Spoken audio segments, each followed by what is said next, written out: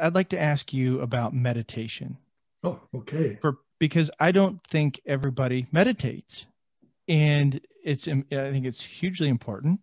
So, mm. how does the common person start? Where do they start? What does meditation look like? Oh boy.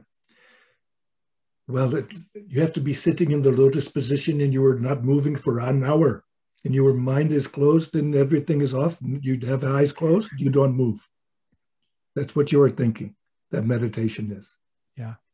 I could be walking down the streets of Los Angeles meditating. I was on in meditation with automatic weapons, hand grenades, and plastic explosives. The mind is either your best friend or your worst enemy. I'm going to ask you a question. Okay. And I'm asking everybody on your call. Have you ever in school, in a school classroom, ever been taught how to concentrate? Or have you just been told to? Correct. Yeah. Yeah. So I used to teach teachers in Los Angeles Unified School District a course for professional development called Peak Performance Practices for Sports, excuse me, for Academics and Sports. That was the title. I, des- I taught one week uh, practice hold your left hand facing you, elbows near your side so it's not too far away. You take your right forefinger and you put it at the base of your little finger. And as you breathe in, you move up. As you breathe out, you move down. As you breathe in, up. As you breathe out, down.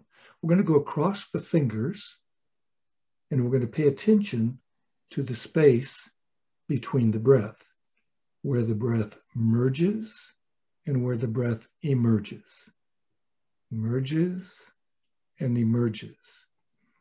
That space where the breath is paused is the place where your thoughts come from and go to. And you do this at your rate, not at my rate. So I teach this to the class one week. And the next week, a teacher comes back, and she was a kindergarten teacher. And she comes back and she says, The kids love it. They call it roller coaster fingers. So I got the title, Roller Coaster Fingers, as it's titled in the book. And this was years ago that I did that. But this practice can also get what they call a mantra, or in psychology, they call it a cue word, because it doesn't have to do with any religion. It has to do with the idea of concentrating the mind as well as the breath.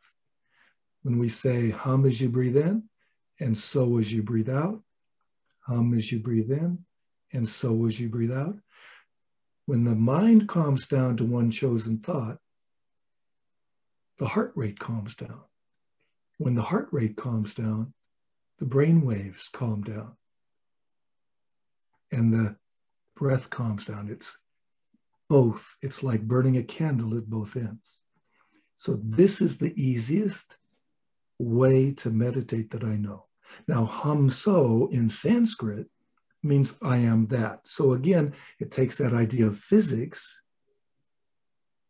into reality because there's nothing that is not energy